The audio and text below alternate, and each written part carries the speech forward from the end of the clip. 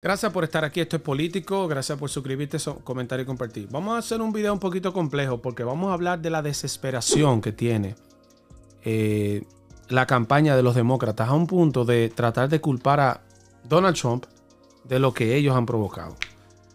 Eh, para mí una cara desesperante de Zelensky, una Zelensky, perdón, una cara cuando está con los demócratas y otra cara cuando está con el, con el republicano Donald Trump y veremos un poquito, reaccionaremos un poco a los dos discursos, digo yo, más importantes que se han hecho eh, en la actual Junta de las Naciones Unidas que se está llevando a cabo aquí en la ciudad de Nueva York por parte de Milley, para mí uno de los mejores discursos y parte de lo que dijo eh, pues el señor Nayib Bukele. Así que quédate hasta el final del video para que me digas qué te parece.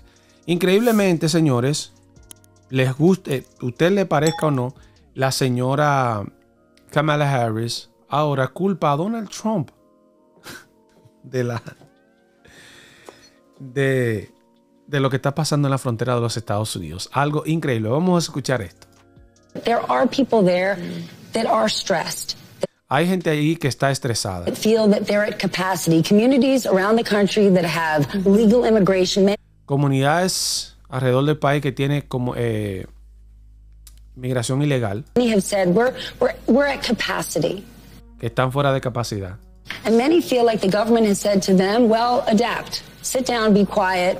Y ellos sienten que el gobierno le ha dicho, bueno, siéntate y cállate y adáptate.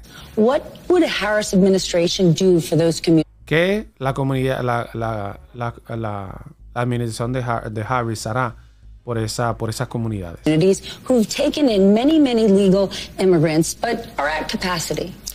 Que han tomado muchos inmigrantes pero que están fuera de capacidad. Well, first of all, we do have a broken immigration system. Bueno, primero que todo, nosotros tenemos un sistema de migración roto.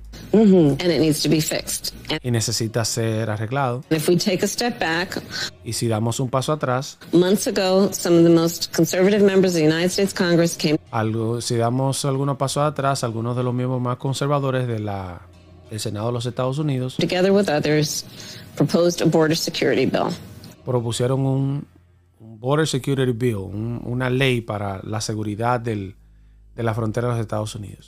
That would have put 1500 new border agents on the border to help que hubiese puesto 50,000 agentes más en el en la frontera de Estados Those hardworking border agents who are there right now working around the clock would have put more money into stemming the flow of fentanyl, which is killing más dinero para controlar el fentanol que está eliminando a, a nacionales estadounidenses. Americans around our country and devastating communities would have put more resources into our ability to prosecute transnational criminal organizations, which in my career I've prosecuted. Donald Trump got word of the bill. Y más dinero para procesar a criminales internacionales que hacen negocios en la frontera, muchos de ellos que yo procesé. Donald Trump realized it was going to fix a problem he wanted to run on and told him to kill the bill, don't put it up for a vote. A Donald Trump básicamente está diciendo que fue el responsable de que ese bill no pasara. He killed a bill that would have actually been a solution because he wants to run on a problem instead of fixing a problem. Porque él quiere eh, estar ese problema, dejarlo ahí eh, medio arreglado para él arreglarlo y decir, ah, yo soy el protagonista. And that's part of what needs to be addressed. And my pledge is that when elected president, y eso es parte de lo que necesita ser arreglado. Y cuando yo sea electa presidenta, if the American people will have me, I will, si los americanos me eligen, will bring that bill back and I will sign it into law. Yo voy a traer ese bill hacia atrás y lo voy a volver una ley. Pero hay un solo problema, Kamala Harris. Hay un solo, un solo problema de eso y por eso es que yo digo que debe haber una desesperación muy tremenda desde la administración de Biden para ella estar diciendo esto. Porque hay una persona que ha abogado bastante, una y otra vez, diciendo que la inmigración ilegal no es un delito,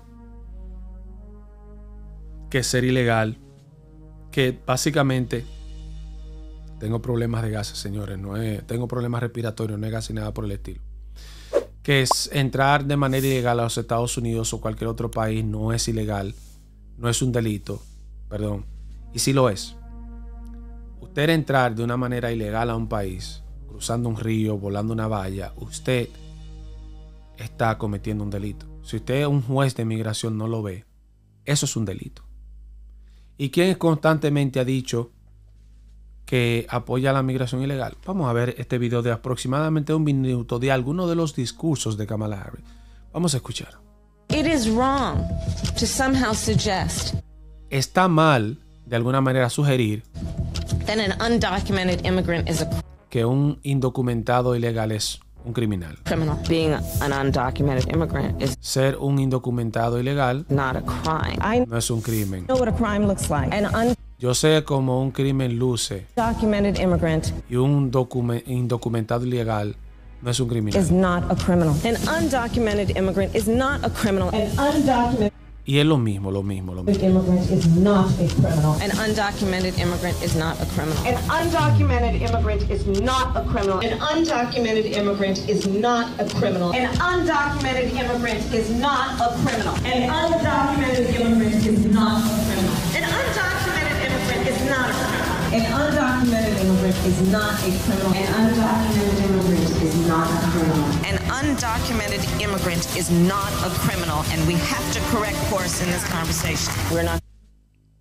Miren, si bien es cierto que un indocumentado ilegal no es un criminal por el simple hecho de no estar documentado, porque usted, por ejemplo, pudo haber venido en este país co- con una visa y se le venció su plazo, eso no lo convierte en un, en un- en un criminal.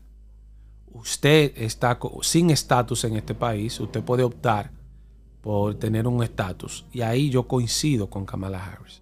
Usted puede cambiar su estatus por la vía que usted considere pertinente. Ahora, estos indocumentados que cruzan la frontera con los Estados Unidos, por el hecho de cruzar la frontera sin que un juez de inmigración lo viera, como si lo vio a alguien que entró con una visa, son criminales. Porque John Levy, si no han matado, no han matado, no han violado, no han robado, pero violaron la ley del país, que es entrar de manera ilegal. Si usted está de este lado de la frontera y usted cruza para este lado de la frontera, eso es un crimen. Eso es como yo en mi casa tengo mi patio, una línea que nos divide, usted cruza esa valla, eso es un crimen, eso es trespassing. Puedo llamar a la policía y hacer que usted lo metan preso por eso. O no en primera instancia lo metan preso, le dan un warning. Eso es lo primero que hacen, le dan un trespass. Usted está oficialmente traspasado esa propiedad. Ahora, si usted vuelve y lo hace, entonces ahí usted puede ser procesado. De eso se trata. Entonces, Kamala Harris, que es la persona que con sus leyes, con sus bills, trajo, por ejemplo, a Ohio 20 mil, 20 mil haitianos a vivir en suelo estadounidense eh, con temporary um, permits, con permisos temporales de trabajo y eso. Eso, eso, señores, es devastador para los Estados Unidos. Y tú me dirás, yo Levi, tú no eres un, un inmigrante. Tú estás en contra de la inmigración. Yo no estoy en contra de la inmigración. Yo estoy en contra de la inmigración ilegal. Yo estoy en contra de que usted vaya a un país que no es, que no es el suyo y pase la frontera sin que, sin que un juez de migración vea, vea que usted llegó a ese país. Lo correcto es que a usted un juez de migración lo vea y le dé la posibilidad de usted entrar a este país. Si no es de esa manera, entonces usted está cometiendo un delito. El delito de, usted entrar a un país de manera ilegal. Y eso es penado por ley. Yo estoy a favor de la inmigración, pero estoy a favor de la inmigración legal. Hágalo legal. Muchos de nosotros tuvimos que pagar un precio para poder llegar a los Estados Unidos. Muchos de nosotros tuvimos muchos años de estudio, mucha preparación, comportarnos de la manera correcta para que por fin eh, un juez de migración nos haya dado la posibilidad de entrar a este país y de vivir aquí y de tener y de luchar por el sueño americano. Eso no está mal, eso está bien. Entonces, ¿por qué usted que quiere ingresar a este país no hace lo mismo también? ¿Por qué usted no trata de entrar de manera, de manera legal a este país? Y ahí es que yo digo que el gobierno de Harris está, la, la campaña de Harris está un poquito desesperada, está un poquito perdida, porque un discurso que ellos tenían desde un principio, ahora tratan por todos los medios de modificarlo, y así no se puede.